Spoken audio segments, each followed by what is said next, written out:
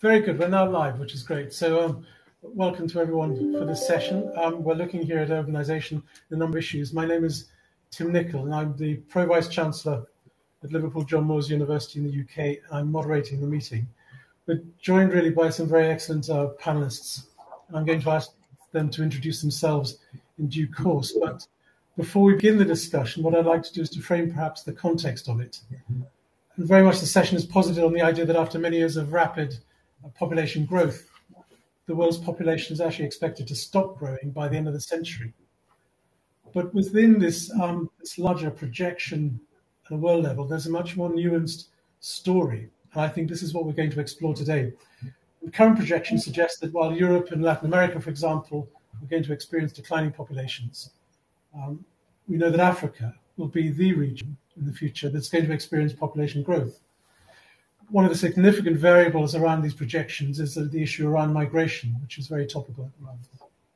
Now, in the context of growth, the UN projections have noted that six countries are going to account for more than half of the world's population growth through to the end of the century. Five of those are going to be in Africa. We're looking at Nigeria, Tanzania, we're thinking about Ethiopia, Angola, Democratic Republic of the Congo, and the other country being Pakistan. And in experiencing these changes of population and growth, the question arises what changes are there also in the composition of this world population? And I note here that the general trend is projected to be around an aging population. And again, UN stats show that the world medium age in the 1950s was 24. It's currently at 31, but is projected to rise to 42 by 2100, by the end of the century. And uh, this is a median figure, and countries and regions are going to experience different profiles. But we are aware that aging populations have significant economic and social implications. We need also note the trend towards urbanization. I think this will come out very strongly in our discussion, I'm sure. The narrative here is of increasing urbanization, driven very much by industrialization, and leading to the growth of what we term the megacity. Uh, in the 1950s, these figures I, I find quite startling. Um, the urban population of the world was estimated to be 751 million, and this had grown to 4.2 billion by 2018. And by 2050, it's projected that 75% of the world's population are going to be living in urban environments. So, in the past 70 years, we've seen a huge period of significant change. Um, in Asia, population growth has gone from 17.5% in the 1950s to 51% currently. In Latin America and the Caribbean, it's moved in the same period from 41% to 81%. These are significant changes over a relatively short period of time. And along with this change has come the increase of this idea of the megacity. Cities of more than 8 or 10 million people, the majority of, uh, of whom are now going to be found developing in Asia. So we have increasing urbanization. Uh, we've got larger city op- sort of populations. With that, we have a range of issues, I think again will come up in the conversation social and economic, issues around water, sanitation, rubbish disposal, pollution, poverty, crime, societal harmony, a whole range of issues that require thoughtful and considered attention. And I believe these are the issues we will be touching upon. So, with that basic introduction, could I just invite Avi perhaps to begin, introduce himself and begin discussion? Thank you very much, uh, I'm very glad to participate in this uh, special session. Uh, I am from Israel, live in the city of Rehovot, which is well known by the Weizmann Institute. two presidents came from this city, and maybe I'm the third one. Uh, I, I, I, worked 36 years at the Union of Local Authorities in Israel, which is in the United States called the, the League of Cities of Conference of Mayors and was their deputy director general responsible for the international relation, tourism, and other uh, elements. Uh, in, within this uh, framework of activities, which you well known as maybe sister cities and others, uh, I decided in '94 to check the situation in Israel as an answer to what happened in the Gulf War were the first time in Israel cities were attacked. Until this war, all the wars that Israel faced was on the border or on the other side. But this was the first time that missiles came into the cities and we didn't know how to act. And what are the role of the local authorities in this uh, regard? So I called to all my friends from the sister cities to come to a conference on local authorities confronting disaster and emergency. And to my surprise, about 1,000 people, including ministers and others, came to Israel from 40 countries to, do, to join to this uh, event. And after this event, many people came to me and say, why not to continue this, this element? And this uh, international organization exists until now.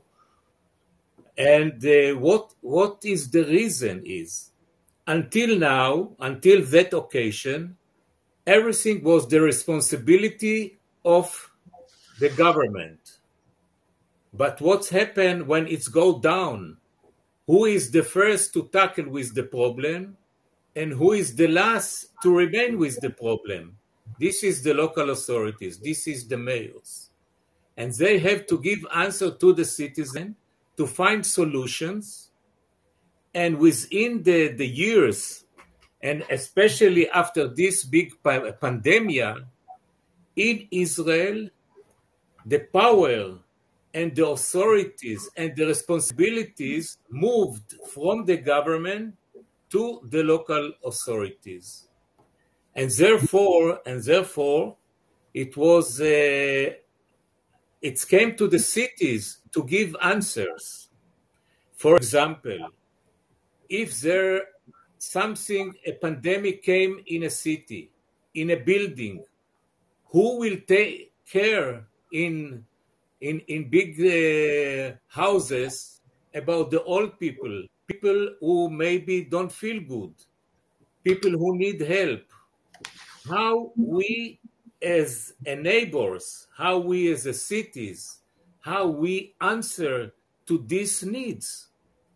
It is not anymore the question how the government is dealing with the subject. It is not anymore the question how much money is invested. It is more people to people. And therefore, I think, and therefore I joined to this session in order to give the topic of human factor in resilient cities.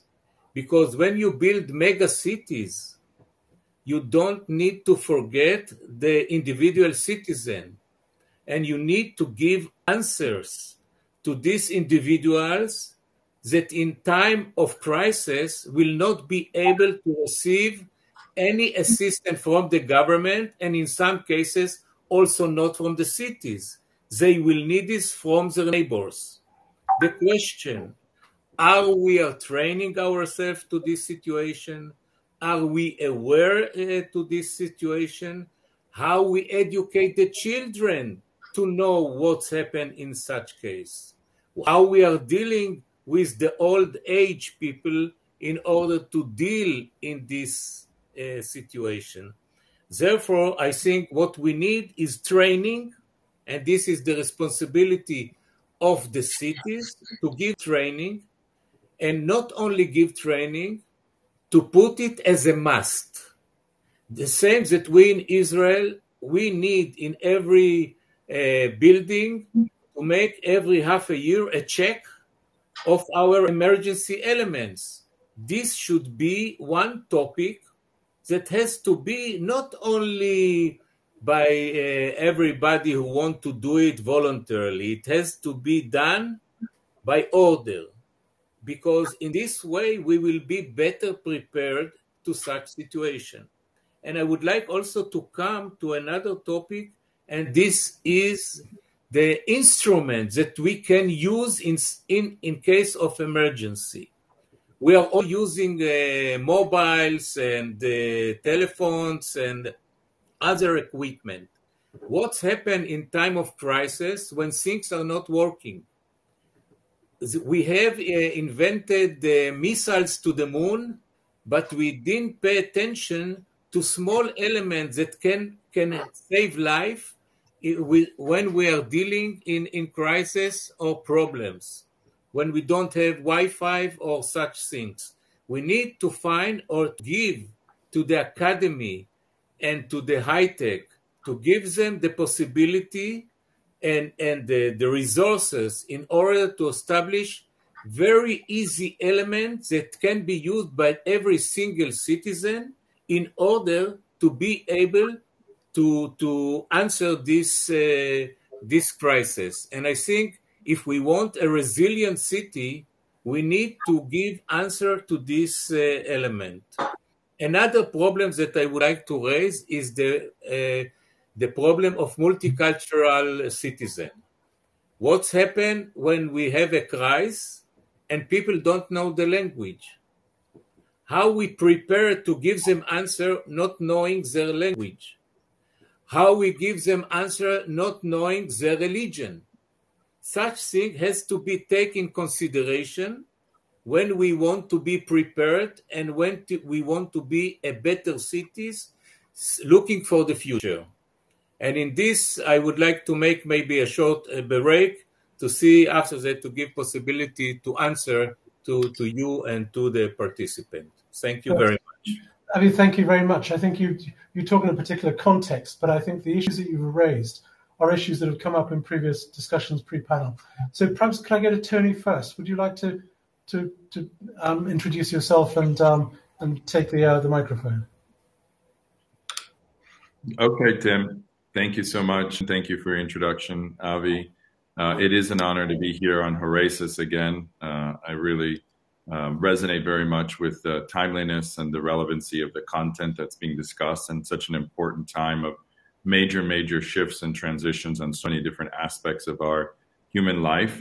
Uh, my name is Tony Cho. I'm the CEO and founder of a platform called The Future of Cities, which is part think tank, part real estate uh, investment and development vehicle that's focused on ESG outcomes and impact, using demonstration projects as a way to show a future for a regenerative city, and venture capital ecosystem that's prototyping the technologies and the companies of the future that are going to impact the built environment. The built environment, as many of you know, accounts for over 50% of CO2 emissions and is one of the largest contributors uh, to, to climate change in the world. And we know that the cities, the built environment, will be reconstructed at least two times, maybe three times over in the next 30 years. So we have a major confluence of crises that are confronting us that can be only addressed with cross sector collaboration at scale, public private partnership, and people not working in silos anymore.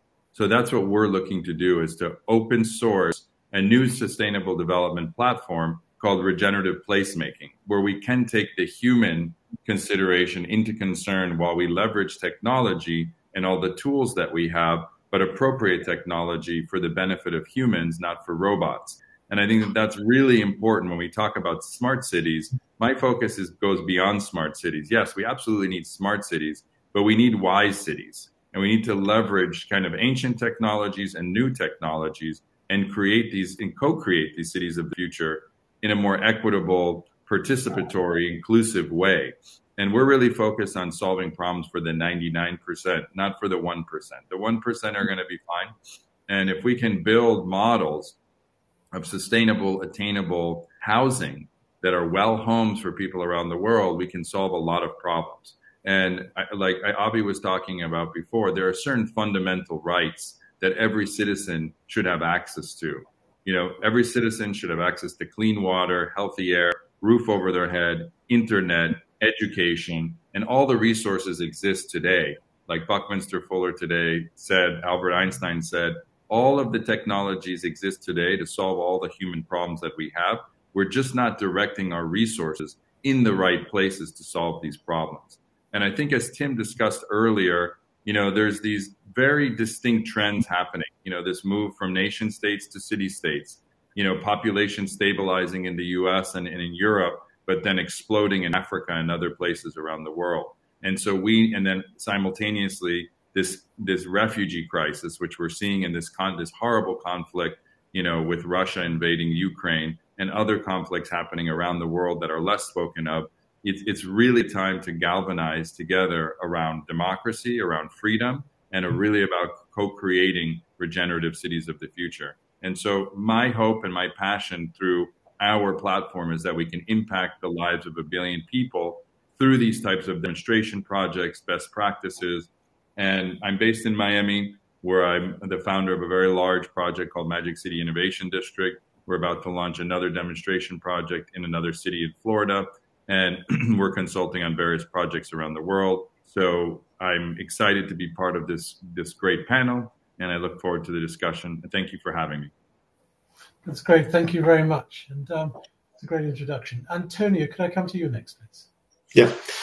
So thank you very much. Um, it's, it's such an honor to be here discussing with all of you guys. So um, yeah, I agree with all of you. So with the, the two panelists um, um that have been, uh, um, you know, making an introduction. So uh, um, as mentioned in the very beginning, I'm a serial entrepreneur. So I was part of the founding team of MyTaxi, the, the competitor in Europe of Uber. And we launched the platform in 2009. So a long time ago, you know, the Pleistocene, you know, more than a decade ago.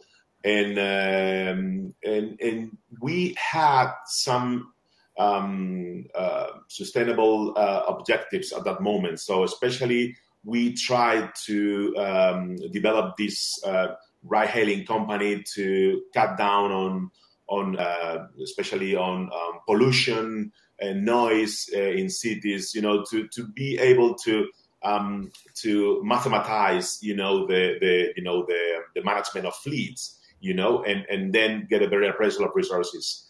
But after a decade, um, trying to also to evangelize, telling telling people, okay, you should you should use the platform in, instead of raising your hand because then the, the taxi driver and the driver is wasting resources, uh, petrol, gas, etc. We see that uh, I'm not pretty sure that uh, we've been able to really evangelize, um, you know, the majority of the population because many people is still using uh, you know, their own cars, and the pollution is still there. More than 10 million people is dying exclusively by pollution every year. Uh, many people is also dying uh, because of the noise, you know, because it's it's uh, it's, it's uh, is really high in cities and then it's provoking heart attacks and many other things. So, and I don't know, good chance, good, good, uh, good for us. But then, um, uh, actually, I'm thinking that maybe we got wrong at some point because, uh, in my case, I, I, also prefer to talk about 21st century cities, and I think it's the, the right moment uh, in, in which cities must embrace open source and um, and decentralized software tools to basically to remove uh, municipal or local dependence on monopolies, which are really damaging, you know, the uh, you know the the quality of life of, of many people, of citizens, foster innovation and inclusion, ensure resilience and security of critical data and infrastructure, and and, uh, and in the end allow more inclusive access uh, to economic opportunities, including for uh, pensioners through fractional tokenized ownership models. So the first one is really uh, it's it's my obsession also with bureaucracy. Remove municipal dependence on monopolies and, uh, and oligopolies. is something that my new company, Woonivers, which is a fintech tax tech company, is facing every day with regulation. So in the end, local governments have, in my opinion, a responsibility to enable high quality of life for residents and visitors to the city. Also, profit seeking uh, conglomerates uh, have a primary responsibility to their shareholders. This often puts uh, conglomerates at odds with local municipalities and residents when the interests of, of uh, especially uh, investors, by all means, and shareholders are completely misaligned with the, those of local residents and has been demonstrated with platform-based models like Uber, also MyTaxi, Free Now, uh, I, I, I founded, and, and Airbnb and many others who have quickly formed nearly global monopolies from, from uh, different places, right? So, and I think it's time to move forward because there are uh, legitimate alternatives to such models, such as a, via the emergence of, of platform cooperatives, uh, whereby the providers and users of, of a service actually co-own and share in the governance of the platform itself via uh, tokens or, or, or other type of, uh, of property. Great examples of this are, um, um, uh, for instance, uh, uh, Resonate, you know, and the efforts to compete with uh, Airbnb. and also, um, you know, the, the DLT, you know, distributed ledger technologies like blockchains, we should go even further to provide alternatives to, to, to this kind of monopolies in urban uh, environments. And there are examples like uh, the Bee Token, which is building uh, a decentralized home sharing network. So, uh, so in the end, I think this is this is uh, still the challenge we have, especially with this amount of population, uh, um, you know, increasing. That's great. Thank you very much for that introduction lots of things I think we're going to pick up on in the discussion.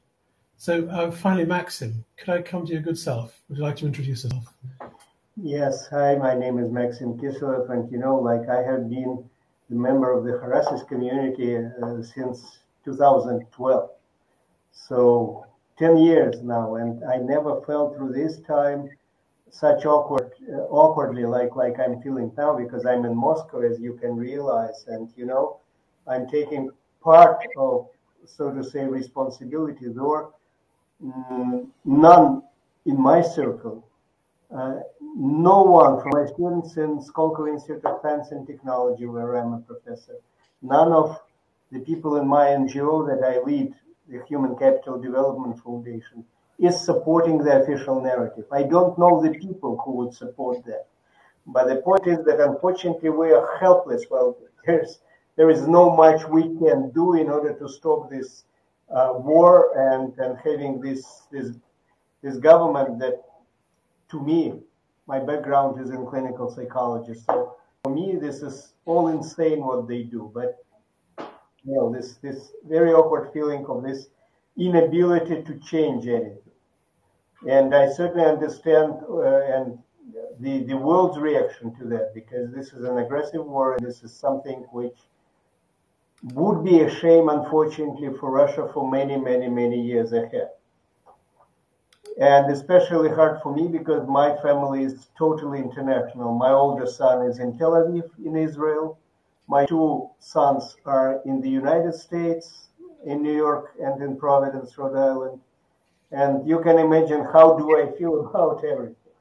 But okay, uh, I'm heading uh, the uh, City of Moscow big organization which is dedicated to the development of the human capital, covering, you know, these issues. Well, I, I believe that occur to many of the world megapolises like Moscow, with the changing job markets, with the loss of jobs due to automatization and digitalization of everything, uh, we deal uh, with the issue of you know like like the future the future of the cities in terms of city economy and professions and those people who would be needed and so forth. And another very dramatic uh, issue that we're dealing right now uh, if you know a few years ago there was the uh, pension reform in russia and the the age of retirement was lifted and so what happened that, uh, you know, like right now, a lot of people uh, who before that or after that, it doesn't matter, they in fact found themselves without the jobs that they used to have, either through retirement or before that, you know, changing some of the life tracks, whatever they need to be uh, or to stay economically active and involved. And so we provide these opportunities somehow for the for people uh, in this age where still they are still capable of doing a lot, but institutionally uh, they are not in need for the organizations they used to work for. So we provide the lifelong learning and we provide these competences that they might need in order to stay at the level of income and to stay within you know like economic activity so this is the brief scope, of course. Uh, but uh, back to the things that you pointed out, I, I totally agree with, with all of you, with all, with all of the issues mentioned. I'm just adding a little bit uh, other focus while I'm dealing with, which is about the total reconstruction of the job markets. And in the very near future, well, wherever the artificial intelligence would be able to replace people, it would do that. Well, right now, you know, of course, I'm not talking about the current situation. Current situation in, in Russia, including Moscow, might be very, very, very bad due to the sanctions and everything, which is quite understandable. But I'm talking a little bit about, so to say, like perspective, how we projected it just just a couple weeks ago, that we are looking forward this thing in all big cities of the world, where inevitably, well, the jobs will be lost in more and more numbers, and the people would need to do something and to stay uh, capable of, you know, like I would say, like like making some income, and and this is one of the big issues that I see in urbanization, and I see, you know, like like in the future trends. We we ran the study very recently, showing that lots and lots of professions they will not be in need whatsoever very soon. It would happen much sooner than we wanted that. Within 10 years time, globally, hundreds of millions of jobs will be lost. And first of all, that will be about cities. Well, thank you. That's, that's thank you very much for the introduction. Thank you. And I know on behalf of fellow panelists, we welcome you as a member of the Horasis community very warmly. So thank you for that. There's some really fascinating themes came out of there. I, I just want to pick up on two, if I could, and then I'll allow you to, to introduce those different ones if you wish. But I'm, I'm fascinated by this this idea of the the shift in power, if you like. So there's a discussion about the nation state, the city state, but then a more local form of, of empowerment that has come out in a number of your presentations. I wonder if you could just discuss that in a little more detail. And the second, I'd just like to pick on Maxim's point, and it's that paradox between the projections of greater urbanization because of industrialization, but the prospect of a post industrial society developing as we go through Industry 4.0, Industry 5.0 now, where uh, we're aware, certainly I come from a business school background, aware of the impact of automation, digitization, and the reversal perhaps of all those global trends which are leading to it. I would like to discuss those too, if I could, and I think there may be some others. But can I just pick up on on the points you were making about this empowerment of local communities? That seemed to be the thrust. Would Tony, I don't know, do you, do you want to pick this up first? Because you've you've, you've, talked a couple of times about reimagining the city in relation to the state, but I, am then Avi and Antonio have talked about it at a, a, further level. But I think your work probably takes us down to that community level. So you're on mute, Tony. So. Thank you, thank you, Tim. Yeah, I, I, think this is a fascinating discussion of bringing the power, localizing power, decentralizing power, and access back to the, the, the citizens and back to the city the cities that we talk about. So the cities are emerging as as the new sovereign entities whereby they can make their own decisions you know in a decentralized way and if you're you know leveraging technologies like blockchain and digital currencies and you know smart contracts to be able to do that is really creating a pathway we're even seeing it now in the conflict you know and and, and the invasion you know with with ukraine as a shifting global monetary fintech evolution that's happening right before our eyes. And I think that um, we should be mindful that the traditional banking system is is basically dissolving before our eyes, and that power is being reclaimed and decentralized at the local level. And this is a positive thing if we embrace it. We have the right regulations. We can be involved in it. We can steward it.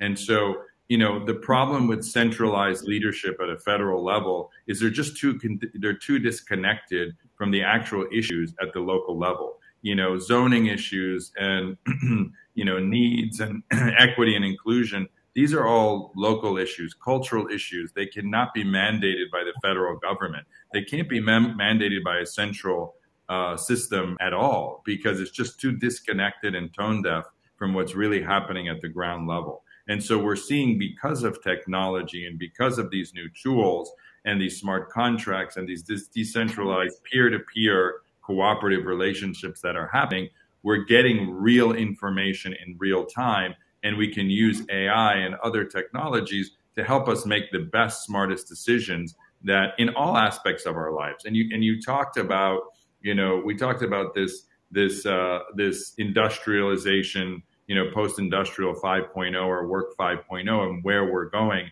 and automation and what's happening. that can be a good thing as long as we're prepared for it. You know, Avi was talking about training and education, and the current education model is broken and it's not preparing our youth for the cities and, and the humanity of the future. And we need to be preparing people eh, for what's happening and what's coming and, and automation and everything that's happening in this post work world. So I think that, you know, it's very important for, again, like I said before, cross sector collaboration at scale where cities are working with NGOs, are working with the private sector together to collaborate on these solutions and you know prototyping solutions in web3 and the metaverse and using these new technologies so before we actually build these communities why don't we prototype them in virtual reality before we bring it to the physical reality everything from construction materials to n- new models of ownership, you know, tokenization of real estate, you know, those types of things which will democratize access to an asset class that has been largely inaccessible for the majority of the world's population. Let's use these new emerging markets to prototype these new and use these new tools to create sustainable net zero housing to prototype new materials like hempcrete, to 3D print buildings in a more sustainable way, way with zero waste. You know, the construction industry, I'll repeat, is responsible for 50% of CO2 emissions in the world. So we can electrify all the automobiles and all the planes in the world, but none of it is going to impact as much as what's going to happen over the next 30 years with all these cities. You know, these mega cities are emerging in the Middle East and in the desert. You know, Africa is exploding, all these places. Well, why don't we create a new reality, create a new narrative around the way that we can co-create these cities of the future. And I think that now is really the moment. We don't have another moment. So this is the make it break it moment. And not only do we have aging population, but we also have, because of advancements in, in medicine and longevity, we're having people living longer. You know, and specifically in in in um, developed nations, you know, they forecast that by 2100, the average age could exceed 100 years of age. So there's there's all this new um, demographic shifts, you know, between you know potentially a billion climate change refugees and populations aging and life extension that are going to have a demand on resources around the world.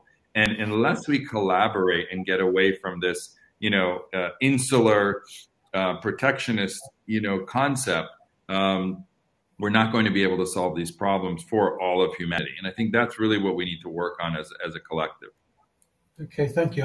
I wanted Avi, do you want to, to give some reflections? I think you, you posed a number of questions that we're following up on now. Um, Yes, uh, first of all, uh, it was very interesting to, to, listen to you, to see that I'm not alone in this topic of uh, local authorities. I remember 30 years ago when I came to, to the government, they say you should go and clean the, the street before you come talking to me. And I'm very glad that uh, all five of us are sharing the same uh, the same idea and the same change worldwide of uh, what's happening in the world when uh, there is a transmission of uh, power from government to local authorities, and which I think we are coming to the, the real model of, uh, of uh, democracy. And I can give you an, an example. Uh, for example, in our neighborhood, they decided the, the, the playground to change the playground. So the municipality make a Zoom call with all the neighbors, and we made our decision: should we have more place for parking places? Where we put uh, the place for dogs uh, to play, etc., etc. How much this interfere to the neighbor of this garden, and so on. So such such uh, element that is taking place, it shows that, that the democracy and that the decision making is going now uh, uh, down to the to the the citizen. The question how how we make a criteria for uh, for for mega cities, how we make a, to make it systematically to work with. In one hand, the, the old people are uh, getting older and can exist, and on the other hand, at hand, the people are not making too many children. And uh, this is also a big problem. This is, for example, the big problem of Europe. It's not a problem in Israel because we need uh, many young people in order to to live for, for the future. But uh, when I see what's happened in Europe, uh, Europe is uh, changing and its culture is changing. It has to be multicultural country, how they deal with this topic and so on. The same that we have to face a problem with four sectors uh, in Israel. We have 20% Arabs. We have uh, 20% extreme religious uh, not uh, taking part in, the national uh, game and so on. So this kind of element has to be taken in consideration when you want to go into the play how city is going uh, to deal uh, with the new challenges. Okay, that's interesting. Thank you. It's it's positing a, change in the role, perhaps, of the local authority, the local representatives. Instead of being leaders of opinion, they're actually moderators of opinion.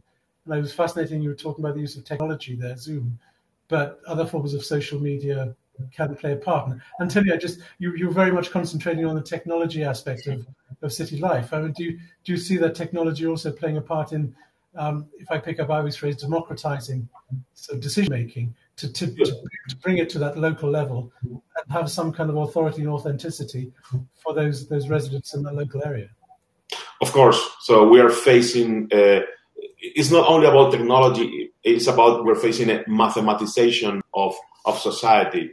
So that's that's why I think probably many laws uh, we'll see that many laws are, are, are lost, but new ones are, are going to be here. But people should be trained to really be able to participate. So uh, with this prevalence of the mathematization. So, uh, um, but but for sure, uh, uh, we assume that two thirds of of uh, all jobs in uh, in developing nations may disappear due to this automation, robotics, machine learning, deep learning, computer vision, big data, uh, financial inclusion. Uh, I think it's it's uh, an integral part of social stability uh, in in around the world. So that's why I really believe in in it's part of the solution in, in my in my opinion uh, fractional ownership. So um, in the future, it's likely that that uh, many people may not be able to rely on a steady and, and, and recurrent streams of income from uh, from uh, classic work and, and, pension when when retired.